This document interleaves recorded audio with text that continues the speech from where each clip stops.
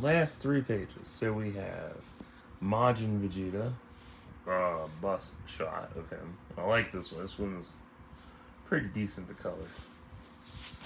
Then we got Stitch. This is a newer one that I colored maybe three years ago, give or take. Um, yeah, I love Stitch. And then we have Dende as well. So he was fun. He's healing whoever. Oh, 2002. 20 years old. Crazy.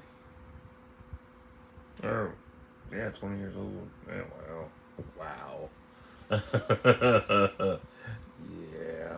So, that's coloring pages. And I have a new one done that I'll show a little bit later. I gotta figure out names for them, so.